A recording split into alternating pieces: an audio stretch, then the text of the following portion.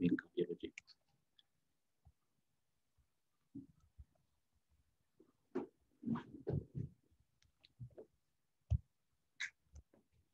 So these are my outline of presentations. We'll have the case uh, vignette, background information on iron and um, metabolism in heart failure. Also, we'll see evidences on uh, oral iron therapy and intravenous uh, iron therapy in heart failure and uh, lessons to take uh, from uh, the review of all these evidences. So the history for introduction, we have a 28-year-old young man, non-cardiac patient, predominantly severe mitral stenosis of rheumatic valvular disease and atrial fibrillation. And uh, that has been there for the past uh, nine years on uh, diuretics, beta blockers, warfarin, and uh, benzathine penicillin with uh, poor adherence for all the medications. He presented with symptoms of acute heart failure and uh, admitted to our ward. On physical examination, uh, blood pressure was 90 by 60, pulse rate 108 with temperature of 36 and respiratory rate was 26 breaths per minute and saturation of oxygen was 82% with room air. He had uh, failed conjunctiva and non-icteric sclera and uh, evidence of uh, congestion. On the labs uh, that was done, his uh, hemoglobin from CBC was 8.8 and MCV 8.3 with uh, WBC and platelet counts are in the normal range. Kidney and liver function are normal. Initially, he had had congestive hepatopathy, later normalized, and electrolytes are also normal. Occult blood was negative. Serum ferritin was 6.7 nanogram per ml, and serum iron determined was also 17 microgram per day. And RT-PCR for COVID-19 was uh, negative because he was also having some degree of uh, respiratory symptoms.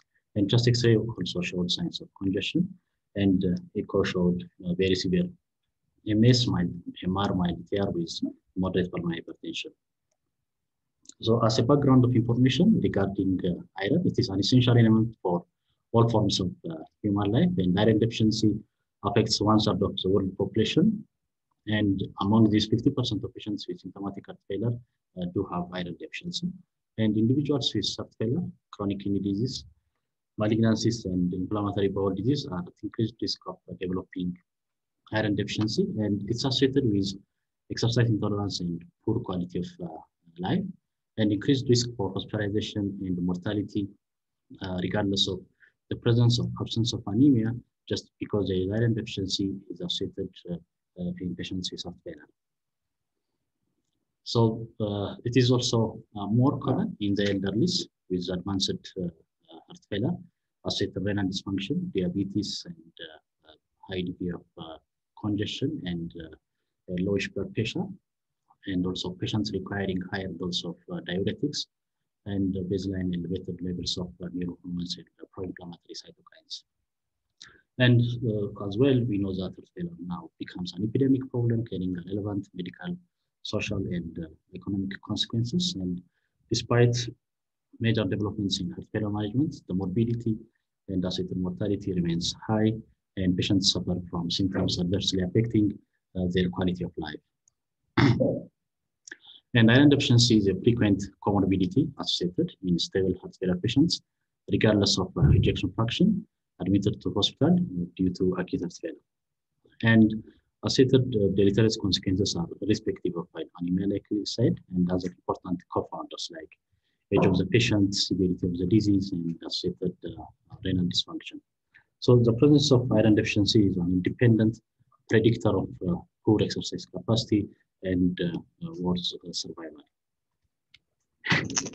So the, key uh, uh, player in iron deficiency regarding heart failure is hepcidin, like in other forms of uh, chronic illnesses as well. It's secreted uh, chiefly by hepatocytes and the main regulator of uh, iron uh, uptake uh, and release and uh, controls the activity of ferroportin, a transmembrane in, in, iron exporter out of the different cells. And ferroportin acts on iron absorption in the gut mucosa, retina, and also the steroids, uh, hepatocytes, and the macrophages.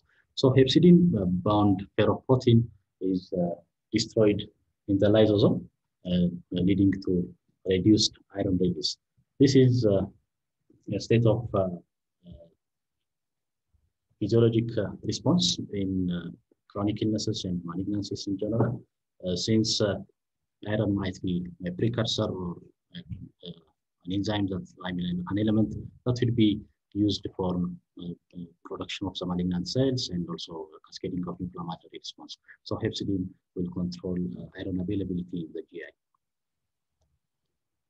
So here we see that either heme iron or non-heme iron or oral uh, iron administration might be absorbed uh, so the gut in the duodenum and ferroportin will be handling uh, to transferrin and also its availability in uh, the, the macrophage and uh, generally reticular cells will be uh, storing and releasing with a regulated manner. So hepcidin will be bonding to ferroportin so that it will increase its uh, lysosomal destruction and uh, the reduction in iron absorption and also release.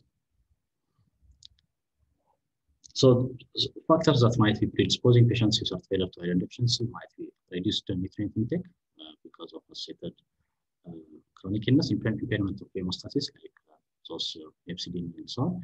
And gait edema impairs also the absorption of oral iron with uh, systemic congestion.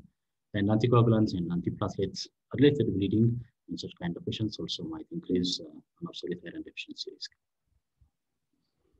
So uh, those of uh, important uh, proteins that are highly affected by iron are that we all know, hemoglobin, myoglobin, oxidative enzymes, respiratory chain proteins, and soluble guanylate cyclases all are uh, reduced uh, their status in heart failure and associated uh, iron deficiency uh, patients.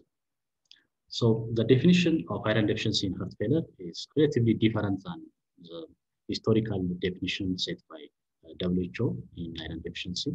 So here it is based on uh, different randomized uh, trials and agreed on and recommended by the European Society of Cardiology as well. And iron deficiency is defined as either a ferritin less than 100, uh, that is absolute iron deficiency, or a ferritin between 100 uh, to 300, but with a transferrin saturation uh, less than 20%, which is a functional iron deficiency.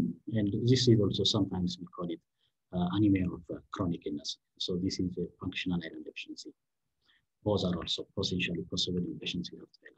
So the levels of hepcidin and soluble transferrin receptor complement the measurements of uh, ferritin, iron, and also AIC. So looking into the history of major publications in the field of uh, iron deficiency and anemia in heart failure, uh, back in uh, the early 2000s, there were uh, researchers who showed interest in iron therapy uh, with heart failure patients in Tel Aviv, Israel. And uh, these researchers were initially using uh, erythropoietin uh, for these kind of patients with iron deficiency. And they have seen a robust response of functional status improvement in the patients and they actually motivated to do further study with uh, the more longer acting and uh, high dose uh, preparations of uh, which is the, the darbepoetin. And in 2003, they have seen that uh, such kind of patients actually are not benefited out of it. rather, there were events that were related to cardioembolic events, thromboembolic events, stroke, and this. So because of this futility, it was uh, stopped, and people's interest in doing uh, further research with iron therapy and heart failure has uh, a lower appetite. In between, a small study came uh, that has tried to see uh, iron therapy without erythropoietin, and it showed a relatively good response in functional capacity, six-minute walk, and patient-reported global assessment. Then um, more studies are uh, coming, especially with uh, iron sucrose and oral iron and uh, lately, uh, since uh, 2008 and more, with pair heart failure, confirmed failure, and effect heart failure, and more other studies were doing on ferric carboxymaltose, but the earlier evidences were taking ground in the iron sucrose study. So we will see uh, Uh, selected uh, evidences regarding uh, this history of iron threat. So the first uh, oral iron therapy that has shown uh, a, good uh, result is the effect of oral iron repletion on exercise capacity with heart failure with reduced ejection fraction and iron deficiency in JAMA 2017. It was labeled as iron out failure randomized clinical trials. So previous to this study, there were other studies that has shown uh, poor quality of study design and, in uh, conclusion uh, regarding oral iron therapy, but this study was having a good quality of design. So in, in this study, the objective was if therapy with oral iron improves peak exercise capacity in patients with heart failure with reduced ejection fraction and iron deficiency. And it was a phase two, a double-blind, placebo-controlled, uh, randomized uh, trial in patients with uh, uh ejection fraction less than 40% and iron deficiency. And like we discussed, iron deficiency in studies almost are defined uh, based on uh, ferritin less than or between 100 to 200. So hemoglobin levels uh, were also between 9 and 15 in such kind of patients. And uh, oral iron uh, polysaccharide for 111 patients with placebo arm of 114 patients. And it was relatively higher dose, 150 milligram twice daily for around 16 weeks. And uh, 225 patients uh, randomized. and finally, uh, 111 included in the primary analysis in an intention to treat approach uh, in the treatment group and in the control is 140. So the exclusion criteria was uh, patients who cannot have uh, cardiopulmonary exercise testing and inability to achieve respiratory exchange ratios greater than or equal to one on their baseline cardiopulmonary exercise testing.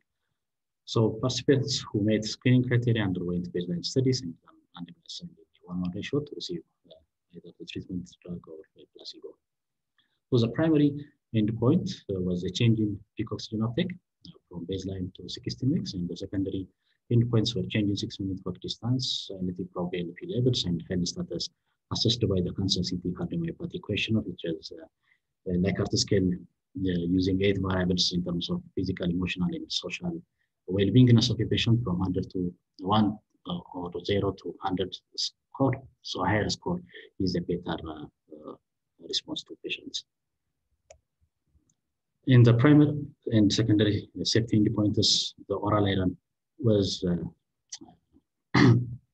uh, having no statistical significance uh, uh, response in the peak oxygen, oxygen consumption, and also the secondary endpoints didn't show any statistically uh, significant uh, probabilities to, detect. So as well, in the safety endpoints, it was a safe drug, like in terms of adherence, it was not affected. So uh, in, in the uh, all variables of uh, changes, probably what was modestly changed was TIBC and the transferring the saturation. So among participants with iron deficiency and reduced ejection fraction, high dose oral iron minimally uh, augmented iron stores, but didn't improve exercise capacity over 16 weeks. And uh, these findings do not support the use of oral uh, iron to treat iron deficiency in patients with heart failure. So uh, there is no more other uh, phases to study and other uh, studies on oral iron has been uh, made so far, but a comparison head-to-head with IV iron, while pure iron was also given, would have been better in terms of looking into the conclusions before rejecting oral iron. And uh, subsequently, after 2003, few patients uh, being uh, uh, participants in uh, randomization and open label. in 2006, in the Journal of American Cardiology, there was a relatively good study design to, to study intravenous iron alone for the treatment of anemia in patients with chronic heart failure. Still in this study, uh, the number of patients were few, uh, 60 patients with uh, hemoglobin of less than 12, and uh, a class 2 heart failure was 9 patients and ejection fraction also in the range of uh, 13 to uh, 39. And they used 200 milligram bolus injection of undiluted iron sucrose over a 10 minute period into a peripheral vein on days 1, 3, and 5 of the study. And the follow-up was for three members. And by then, the study design was to see changes in hemoglobin as well as changes in the Minnesota Living with Failure uh, questionnaire score. This is another type of uh, questionnaire like that of uh, KCCQ, but it doesn't have the social element and the score also goes as high as 105. So there was a very good statistically significant change in hemoglobin as well as change in the, uh, the Minnesota Living with Failure uh, score and also patients with six minute walk in distance has been uh, well responding uh, to iron three months of therapy. So from here, the proof of concept identified was intravenous iron sucrose when used without a concomitant erythropoietin, since it has shown utility before, is a simple and safe therapy that increases hemoglobin, reduces symptoms, and improves exercise capacity in anemic patients with heart failure. Then later, a more better quality of design in the study uh, was made two years later and published on the same journal like before. It was uh, labeled as effect of intravenous sucrose on exercise tolerance in anemic and non-anemic patients with symptomatic chronic heart failure and iron deficiency. It was called as a heart failure, randomized controlled observer blinded trial. And here also the objective was to see IV iron, whether it improves exercise tolerance in anemic and non-anemic patients with symptomatic failure and iron deficiency relatively larger number of patients compared to the two years ago study, SAFTRA patients incorporated with uh, age range of uh, around 50 to 70s and uh, peak oxygen consumption uh, uh, uh, 14 plus or minus 0.7 ml per kg per minute and 16 weeks of study duration with IV iron of 200 milligram weekly IV iron sucrose until ferritin is about 500 and 200 milligram monthly thereafter uh, or no treatment uh, based on the ferritin response. So the, the ratio here is in the treatment group to the placebo is a 2 1 ratio. Uh, like you know, 2 1 ratio is not a common ratio in randomized control trials, but when you have a new uh, data to generate based on the safety of the treatment uh, package, or uh, if a new idea is to be generated based on safety of patient's outcome, you might use two-one ratio, but it's not a common uh, design. One-one ratio is uh, more favored and there is no uh, significant uh, power to increase and also logistically it might not be that uh, favored in terms of uh, design, but they used a two-one ratio by them. Then the, the same protocol for definition was used and patients were stratified to hemoglobin levels, anemic group less than 12.5 and non-anemic group between 12.5 to 14.5. And here, uh, you can see that uh, patients uh, getting a response in six minutes uh, walk, improvement in the downside with the follow-up. So the more duration of follow-up, there is uh, a better improvement. And the clear classification uh, as well was having a better response with time of follow-up with a significant uh, p-value. And also patient global assessment is the patient's uh, score of well-beingness from probably 0 to 10 uh, in terms of their physical capacity, functional status, social and emotional components so is scored by patients and it was analyzed.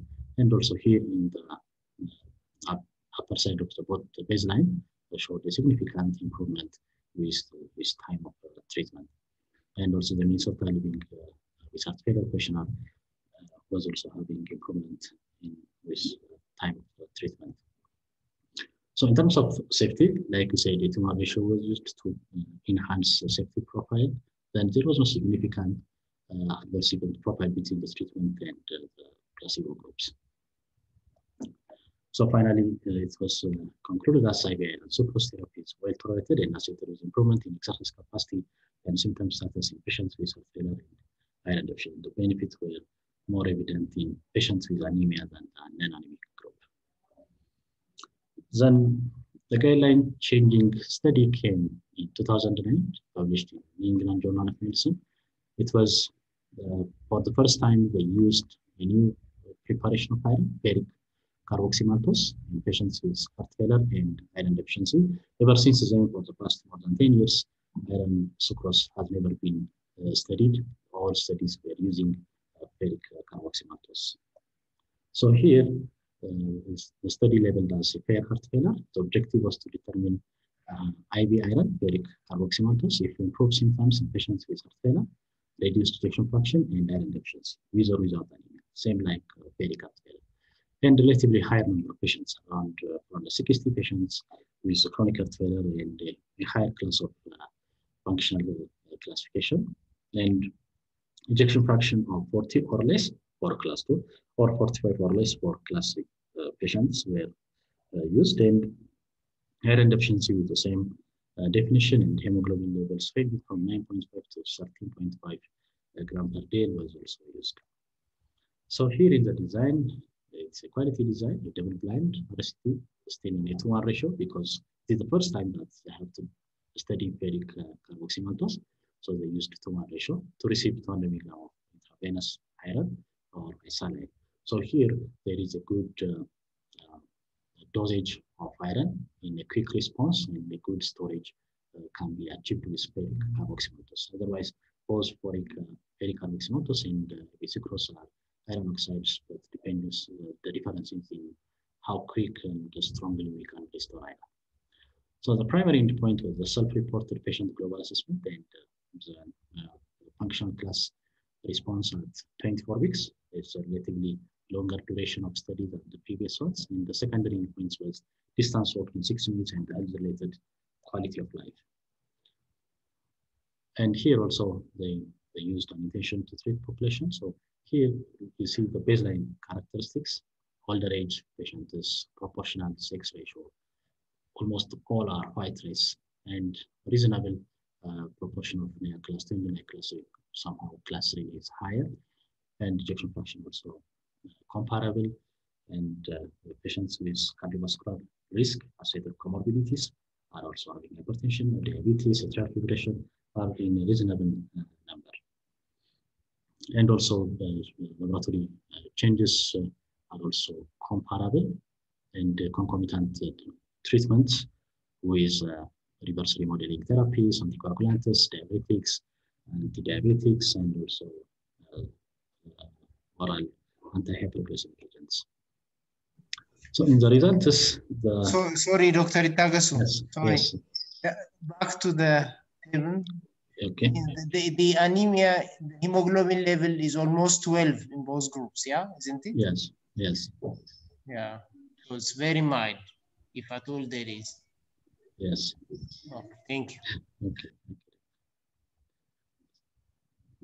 So in the, the, the results uh, with self-reported patient global assessment, there is a robust uh, response of uh, improvement with uh, ferric carboxymaltose and uh, as well in the NYHA class response uh, from 3 to, to 1 or from 2 to one is also uh, very much remarkable. And the six minute walk test has started to take off with a significant change since uh, randomization uh, in the weeks with treatment and Kansas City cardiomyopathy questionnaire also having a good response has been seen.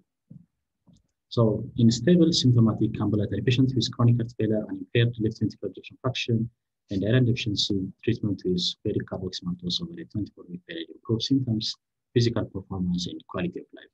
And it has also acceptable side effect and adverse event profiles. And the benefit was seen in patients with anemia, uh, those with the less than 12 hemoglobin group, and uh, at the same time those without anemia. So the hemoglobin value may not be um, the, the condition to improve in terms of improving all those uh, variables of improvement in patient outcome. So what matters is the response in iron, not in the response of hemoglobin. So after this, more studies are being done, but we see few selected ones. And here in 2015, European Heart Journal published the benefits effect of long-term intravenous iron therapy with uh, carboxymaltose in patients with symptomatic heart failure and iron deficiency. It was labeled as a confirmed heart failure. And it was a multi-center double-blind placebo-controlled trial enrolling uh, standard class patients, ambulatory patients, uh, symptomatic low ejection fraction, elevated peptides, and iron deficiency. Here, they just randomized it one-one ratio to treatment uh, with XM or placebo. And here, the duration of study is 52 weeks, more than uh, anyone before. So for at least one year. So it's a relatively longer duration. So here in the primary endpoint, they wanted to see change in six-minute walk distance from baseline to week 24. And the secondary endpoint is change in class, patient global assessment, six-minute walk distance with health-related quality of life, fatigue score at week 6, 12, 14, 24, so at 6 and at uh, one year. And the effect of uh, carboxymaltose on the rate of hospitalization for worsening heart failure how frequent patients could be hospitalized after receiving carboxymaltose was also tried to be seen. And when you see here, the self-reported patient global assessment was significantly responding with uh, uh, duration of randomization as as 52 weeks. So there is a good long-term response of uh, well-beingness uh, perceived by patients. And the NYHA class also has been responding. And here, the secondary endpoints, the six-minute the fatigue score, and also the Kansas cardiomyopathy questionnaire has also uh, important responses with significant uh, p-values. And still, the benefit of uh, uh carboxymaltose goes to as high as one year. But no studies so far have shown more than one year of benefit. But at least this is a good uh, duration of study. So here, when you see the time to first hospitalization due to worsening heart failure using the Kaplan-Meier method, the log rank has made a difference with time of patients with placebo and uh, carboxymaltose. There is a lowish rate of hospitalization in one year time compared to a higher rate of hospitalization in placebo patients. So reducing the rate of hospitalization just because of carboxymaltose is still a significant statistical uh, finding. So treatment of symptomatic iron deficiency patients with carboxymaltose over a one-year period resulted in sustainable improvement in functional capacity, symptoms, and quality of life, and maybe associated with risk reduction of hospitalization for worsening heart. So there are a lot of RCTs that are going on on IV iron for large group of uh, population, and they try to evaluate the effect of iron on mortality and hospitalization. This study, if at all, has seen a benefit in mortality and hospitalization, this is going to be like a reverse and modeling therapies in terms of like ACE inhibitors, beta blockers, hemolysis, and so on. So there are four trials, the Fair Heart Failure 2, which was a continuation from the 2009 publication, Affirm Acute Heart Failure, the HEART-FID uh, uh, study, patients will be randomized to uh, either IV uh, carboxymaltose or placebo, and the fourth one is uh, Iron-Man, which is uh, to study a new form of iron, which is iron isomaltoside or placebo. So the results of all these trials are expected probably within the next uh, one to two years uh, if COVID is not going to interfere in the duration. But one study came in end of 2020, November, which was published in the Lancet, which is uh, the film failure. So this was labeled as ferric carboxymaltose for iron deficiency and discharge after acute failure. It's a multi-center, double-blinded, randomized controlled trial. So here, in one of the four studies, the, the objective was to evaluate the effect of carboxymaltose compared with placebo on outcomes of patients who were stabilized after an episode of acute failure. Admitted patients about to be discharged will be uh, initiated on carboxymaltose when they do have uh, the criteria met for iron deficiency. So it's a mid-center double-blind RCT in 121 sites in Europe, South America, and Singapore. And eligible patients were all patients about uh, 18 years or older, hospitalized for acute heart failure with concomitant iron deficiency and reduced ejection fraction to 50%. So before hospital discharge, participants were randomly assigned in a one-one ratio to receive um, IV iron or placebo for up to 24 weeks. So the primary outcome is a composite of total hospitalization for and CV days up to 50 weeks. So the first attempt to see mortality uh, benefits in therapy. Analysis was made in patients who received at least one dose of steady treatment and had at least one uh, post-randomization data point. This is what they call it as a modified intention uh, to treat approach. So in the secondary outcomes, the composite of total cardiovascular hospitalization and CV days. CV days, total of failure hospitalizations, time to first heart failure hospitalization or CV days, days lost due to failure hospitalizations or cardiovascular days, then uh, evaluated up to 50 weeks after randomization. And the pre-COVID sensitivity analysis on the primary and secondary outcomes was pre-specified uh, based on uh, a number of uh, meetings and dis discussion with the scientific group. So in the procedure, the first dose of study treatment was administered shortly before discharge. Then the second dose was administered at week six, which is visit stream. And uh, these two doses were considered to be repletion dose of iron and the subsequent doses of study treatment, which is the maintenance dose were given at week 12, which is visit 4, and week 24, which was the last visit for participants, uh, for patients with iron deficiency persisted and hemoglobin ranged um, widely from 8 to 50 for those patients. so in the trial profile, initially uh, 1500 plus patients were screened and uh, 1132 randomized with 567 into the carboxymaltose and equivalent uh, number to the placebo group. So nine patients were excluded and finally 558 uh, patients included uh, in the uh, modified intention to treat analysis and also here the placebo group another 550 patients also included. So when they said modified intention to treat, so there is no clear specification what is modified is different than the historical intention uh, to treat analysis.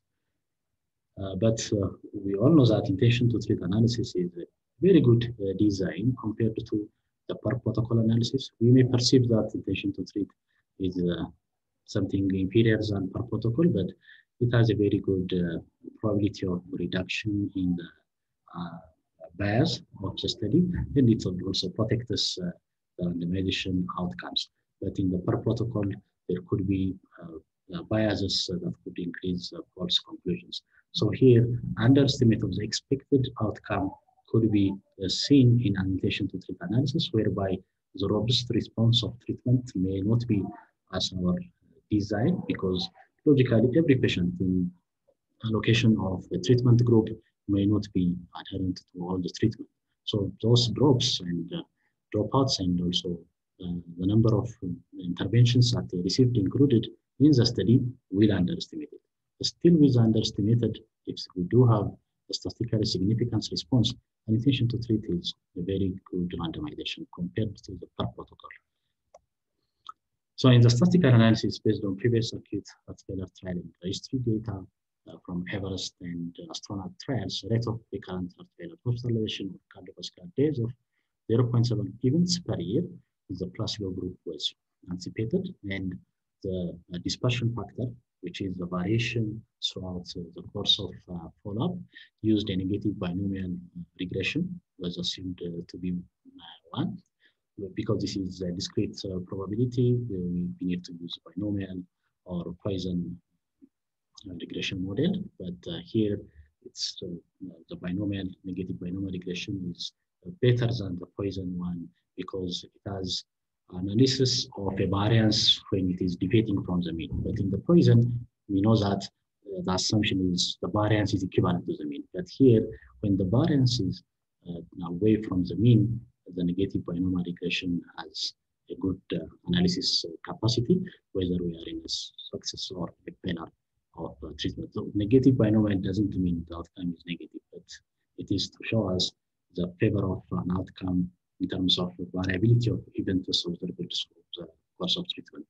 So the efficacy analysis used the modified intention to treat like scale and the primary outcome is reported as uh, the rate per 100 patient years uh, uh, by treatment group. So the rate ratio, which is equivalent to relative risk, uh, is analyzing the outcome of uh, patients in terms of benefit per patient years. For uh, if you follow for one year, one patient year, 10 patient years, and so on. So here they used the rate ratio with 95 confidence interval and a p-value of 5% was analyzed using a negative binomial mode. So adjusted covariates were like the discrete variables. The dichotomization was 8 less than 70 years or above 70 cause of heart failure. Ischemic, non-ischemic, or unknown. Heart failure duration, newly diagnosed without index hospitalization or non-documented heart failure before index hospitalization. And the country of study because they used European samples and uh, South African, I mean South American and Asian countries. For the secondary outcome, the same method was also used. So in the baseline characteristics, still here, despite multi-center involvement, the white race is above 95%. The Asians are few, from Singapore. And there are numerous comorbidities of patients involved in this study. And also the class of heart is predominantly class 2 and uh, class 3. Also, ejection fraction is also categorized 35, 35 to 39, and uh, 40 to 49. And also whether patients are having device therapies or not. Uh, also, pharmacotherapies, history, and associated uh, lab values. Here, the anemia group was also uh, comparable 50 uh, to, to 57% with low ferritin and also the transferrin saturation. And here as well, the proBNP is very much higher compared to studies in the Everest and astronaut trials in failure uh, days the hospitalization category. Uh, they were using around 2,000 values of proBNP, whereas here patients were having a higher BNPs. So in the modified intention to treat analysis, uh, the treatment group and uh, the placebo group with a rate ratio and a p-value, total heart failure hospitalization and cardiovascular. Days was marginally in the favor of uh, carboxymaltose 0.059 and total cardiovascular hospitalization cardiovascular.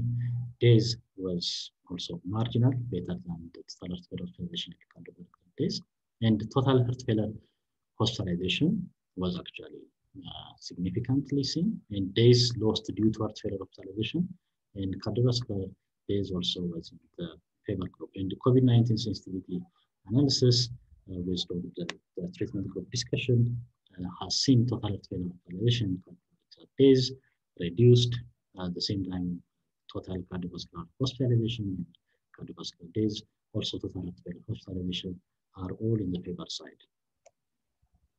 So in the primary outcome, total failure hospitalization, like you see here, there is a good uh, change in uh, the mean cumulative uh, events per 100 percent and also uh, the same for uh, cardiovascular hospitalization in the days. And uh, probably here, the first heart failure hospitalization or cardiovascular days was in a better p-value with 0.07 as well total heart failure hospitalizations. And uh, the first uh, time to first event outcomes in the first heart failure hospitalization of cardiovascular days was also favored, and but total cardiovascular days was not statistically significant. Also, the post-COVID-19 sensitivity analysis, this is because patients were not able to be followed and monitored in, in their hospitalization in the days because they have to stay at home and their report of uh, health status and the COVID status was based on phone calls. So this was an attempt of concluding a study that was having a lot of data collected just before COVID. And this is probably the non-COVID uh, RCT that was published uh, uh, this time after the COVID era. So in the finding, patients with iron deficiency uh, low ejection fraction who had uh, stabilized after an episode of acute failure treatment with uh, carboxymaltose was safe and reduced to the risk of failure hospitalization, but had no apparent effect on the risk of cardiovascular death. So the other three studies expected probably would answer the risk of reduction in cardiovascular deaths in the subsequent years to follow after the COVID era probably. So what are the guidelines saying? The updated 2017 ACCIR says that routine baseline assessment of all patients with heart failure includes an evaluation for anemia in addition to other baseline lab tests. And there is an uncertain evidence base for oral iron therapy in the setting of anemia associated with heart failure. So uh, the recommendation for anemia, it's a, a class 2B level of evidence B patients with class 2 and 3 heart failure iron deficient, if uh, transferring, I mean, intravenous iron replacement might be reasonable to improve functional status and quality of life. And the no recommendation is patients with heart failure and anemia, EPOs shouldn't be used to improve morbidity and mortality. In 2016, the European guideline had a different approach. The effect of treating iron deficiency in HFpEF, heart failure with mid-range ejection fraction, and the long-term safety of iron therapy in either of these is unknown. The long-term when it says probably more than one year. Otherwise, confirmed heart failure has shown a benefit at the same time also the affirmed heart failure, the latest one. So the safety of IV iron is unknown in patients with heart failure and a hemoglobin uh, of uh, about 15, what we call probably as normal. But if there is iron deficiency, it's not well studied so far. And patients with iron deficiency need to be screened for any potentially treatable or reversible causes. And in the recommendation, which is a better class of recommendation than the Americans, a class 2A level of evidence A, intravenous carboxymaltose should be considered in symptomatic patients with HFrEF and iron deficiency uh, in order to alleviate heart failure symptoms and improve exercise capacity and quality of life. Didn't say about now study. So back to our case, the 28-year-old uh, rheumatic patient uh, with uh, a low ferritin, 6.7, and uh, certificate low serum iron. He is currently in the ward taking a diuretic, uh, digoxin, and anticoagulation, and he's getting the ferrous sulfate, just one tablet uh, PO BID. Are we doing right for this patient? Can we consider IV sucrose that is the Ferromax preparation probably we have in the market, whereby uh, there's a good experience with the renal unit and hematology unit in the utilization of iron. We can make a discussion about that. So concepts to proof in our patients' demography. Our patients are more with young age. Rheumatic arthritis is more common and preserved LV systolic function. No evidence of preserved systolic function in rheumatic arthritis as well young patients. They do have a less comorbidities, like you see in the studies. There are a lot of comorbidities of patients. They are older patients but our patients are relatively less comorbid. There is a potentially high number of patients with absolute iron deficiency, considering good social demographic status of the background. And um, in those studies, more than 95% of the population of white race. We are in the black society. And can we still consider the IV iron sucrose, what we have here, to do an RCT to see maybe patient-based treatment and response, and more high opinion from experts uh, invited here. So the lesson of the day, our patients in heart failure and iron deficiency benefit list from Maralhera. Better to incorporate screening for iron deficiency in heart failure patients with anemia into the routine care. And let's consider probably intravenous transfusion is what you have in the. These are my references and uh, thank you all for your time. Any comment, any question?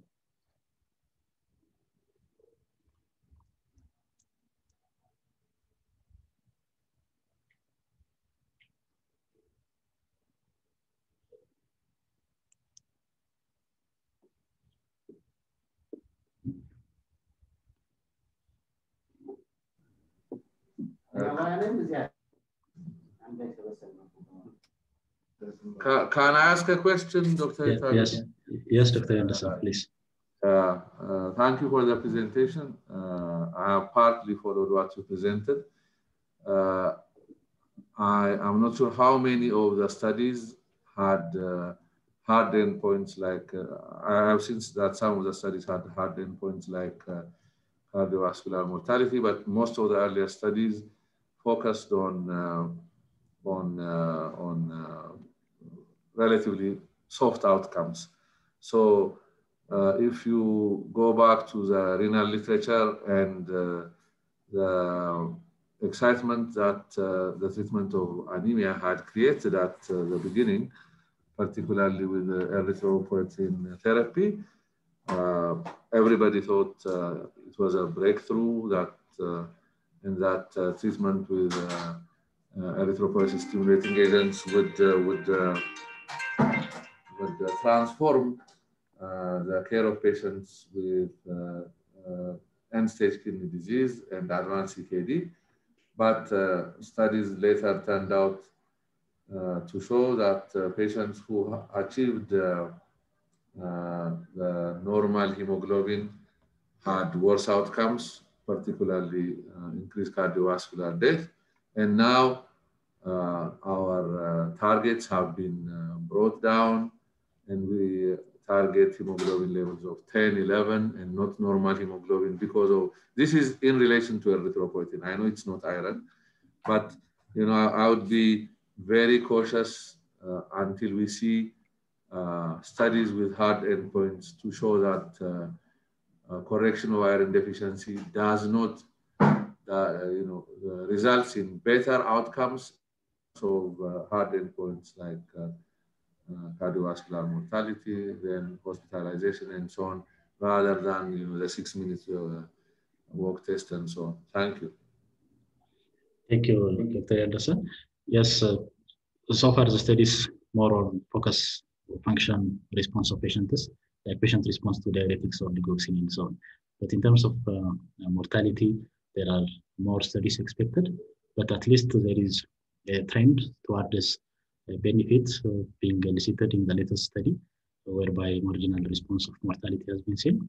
But uh, more other studies might complement that with a, a more robust evidences and hospitalization uh, rate reduction and, and in, which is also seen uh, in the confirmed heart failure trial and also in the Appian heart failure trial is a very good uh, evidence still to follow because rate of hospitalization and especially when it is recurrent hospitalization is one of the poor prognostic indicator in the outcome of uh, cardiovascular uh, morbidities. So I trend toward this a better response in reduction of hospitalization has been seen and functional capacity improvement and mortality would be what we will be expecting. But till then, this is still something in the quality of life of patients to uh, consider maybe in the treatment.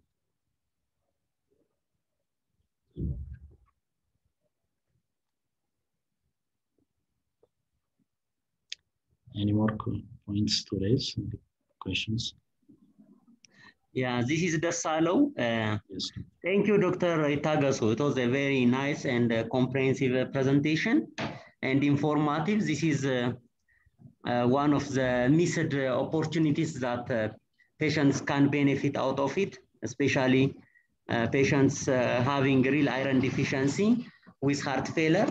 And uh, it's also incorporated in the guidelines. We expect more studies to come. Uh, and it is a very nice presentation just to appreciate the way you summarize evidence. Thank you. Thank you.